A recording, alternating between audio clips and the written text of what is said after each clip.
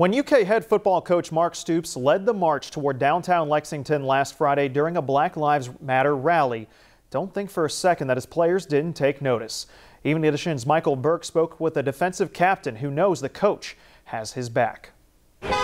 When the UK football team marched for the Black Lives Matter movement last Friday, there was no depth chart. Everybody has to get off the sideline and get in the game and be part of the solution. Led by a coach who's wearing this movement on his sleeve. I play things pretty tight to the vest on issues, but not on this issue. His players noticed that. Defensive end Josh Paschal was among those who marched. He's really passionate about uh, what he did on Friday, and he showed us uh, he showed us that, and that makes you well, that makes us appreciate him even more. And now something they can really appreciate a break from all the talk of police brutality and the spread of coronavirus. That's because the football team actually got back to some football related activities this week. With all this going on the past couple of months, um, I feel like we'll all be blessed just to be even, even be able to have a football season.